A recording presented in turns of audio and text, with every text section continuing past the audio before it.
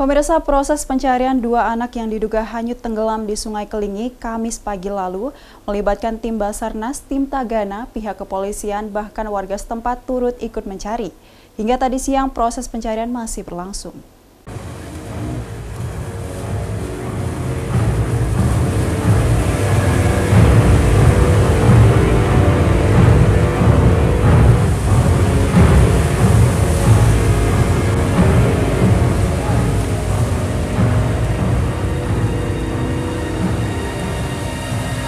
Kamis pagi 10 September 2020, warga Kelurahan Marga Rahayu, Kecamatan Lubuk Linggau Selatan 2, Geger, telah menerima kabar hilangnya dua anak yang hanyut di Sungai Kelingi.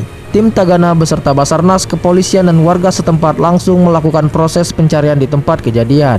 Hanyutnya dua anak malang tersebut hingga sekarang belum juga ditemukan keberadaannya. Kabit Linjam Sos, Pauzi menyatakan selama proses pencarian pihaknya hampir tidak ada kendala. Namun pagi ini air sungai agak naik. Tim dari Tagana yang diturunkan untuk proses pencarian itu ada 20 orang. Ia mengakui pihaknya telah melakukan pencarian dari semalam hingga pukul 03.00 waktu Indonesia Barat.